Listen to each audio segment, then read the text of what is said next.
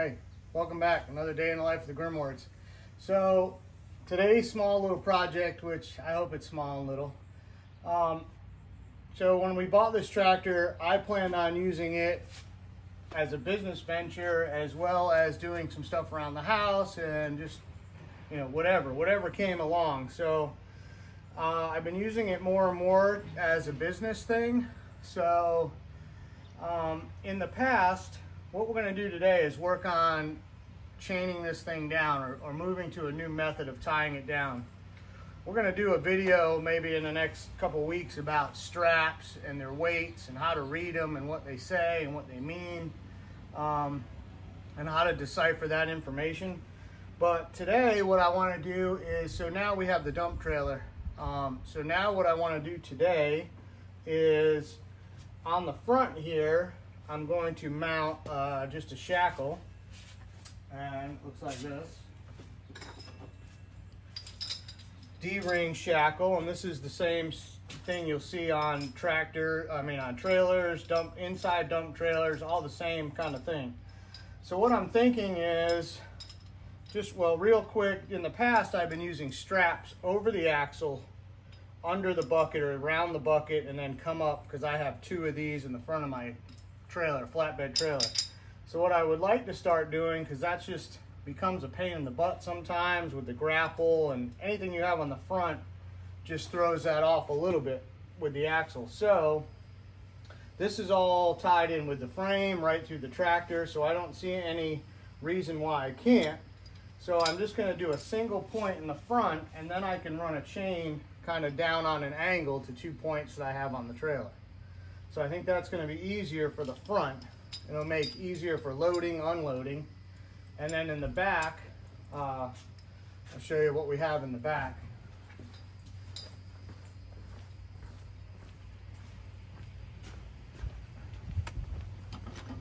So in the back, depending on what implement I have on the back, um, I've been using this one point right here off the drawbar with this big shackle.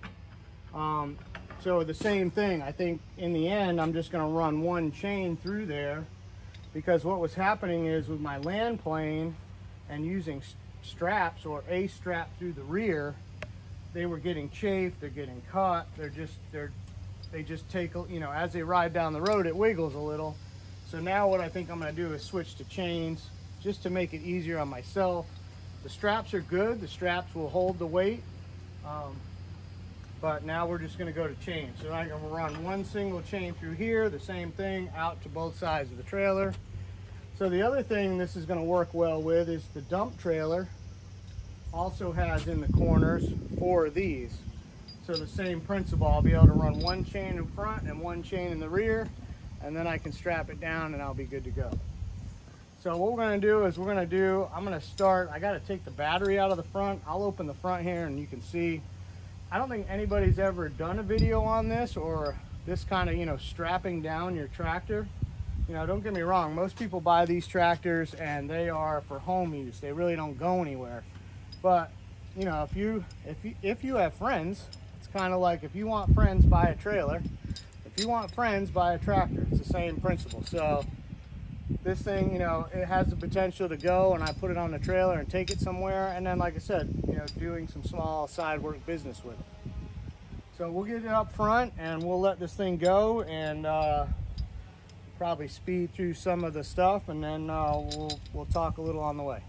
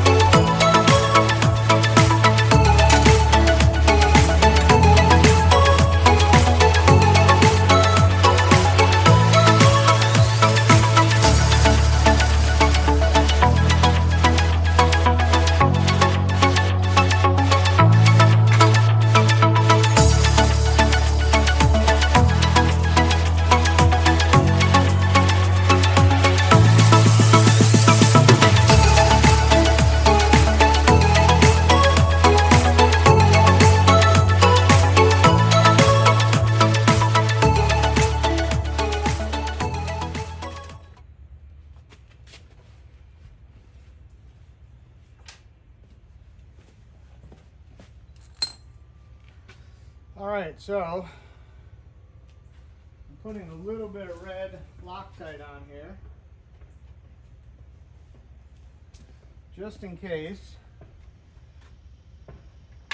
You know, it's one of those things like, not that it's gonna, you think it'll fall off, but you, you just wanna make sure it's not going anywhere.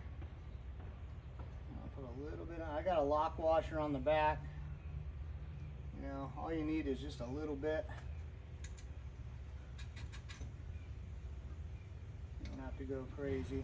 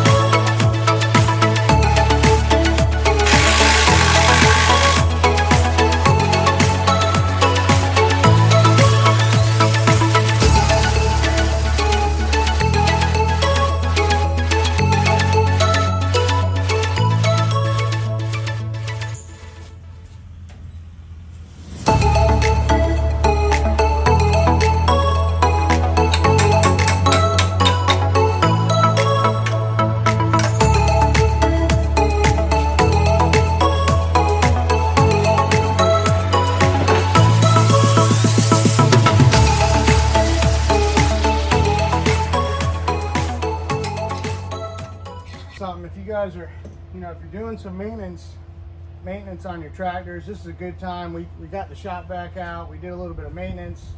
You know i'm looking at fuel. I'm just looking for leaks. All blew out everything. But here's something i want to point out and i dealt with this a lot in the automotive world. They don't make battery terminals the right size anymore. And when i say the right size is i just tighten this thing up all the way till it was super tight and I just pulled it right off the post. Now the positive side, for whatever reason, they work. You can pick these up. It's just, it's a battery terminal spacer, any auto parts store. And um, I found that on now, every just about every time you put a battery in something, you're gonna need at least one of these for the negative. They are not the same size and whatever you do, that will not tighten down. You know, again, I had never I had never turned the terminals. I just visually inspected this every once in a while. Now that I've had to work on it, I'm realizing that it was probably never making a really good connection and it had zero dielectric grease on it. I always like to grease these just a little bit to have it there. So all you do is that thing just slides over and then after that, the problem, you'll, you'll, if you have any problems will be just trying to get just getting this thing back open a little bit so I'm gonna grab some pliers and we'll try and open it up a little bit.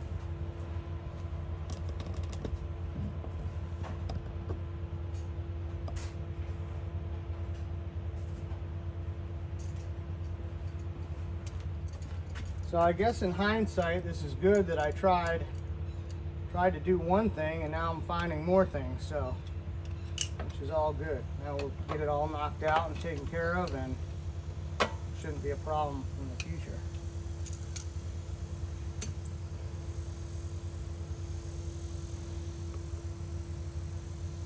Like I said, the only problem you have now is just really just trying to get it back on.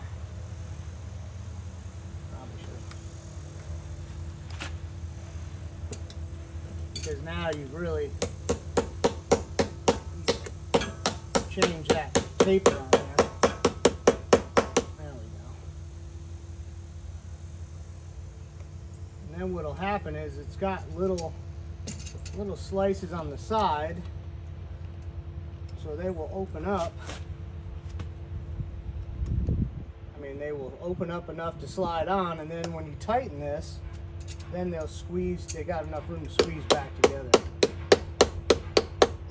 I know everybody out there is saying you should never bang on battery terminals, but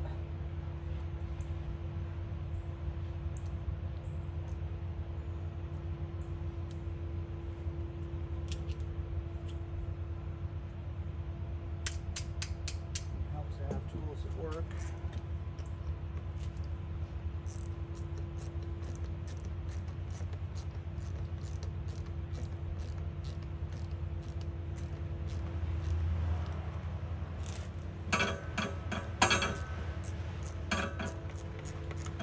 Now, hopefully when this thing squeezes down really tight, it's not gonna come off.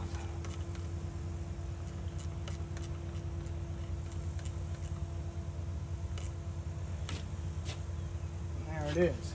So now it's tight on there.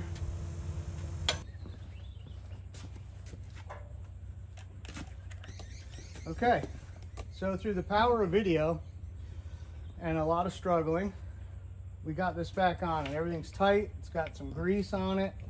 I got these little plastic things that I guess in case something drops on them. I'm not 100% sure what they do. Um, so again, if you learn anything from this, is just to, you know, when you get a chance, if you're doing something, use that as an opportunity to, uh, to check everything else. Because again, so many people, you know, we buy these and we think, we think that everything's ready to go. And then in reality, they're not, you know? So take a few minutes and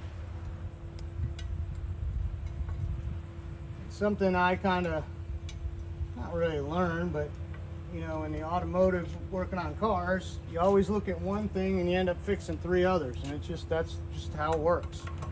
So now we're just gonna tidy this up, put it all back together,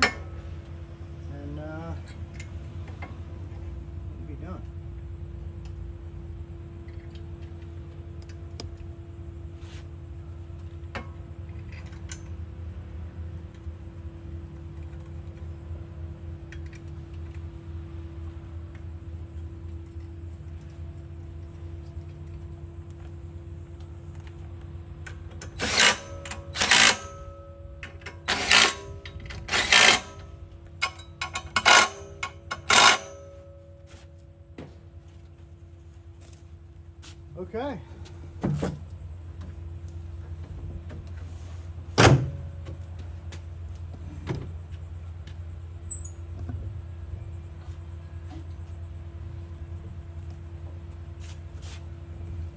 So there it is. The uh,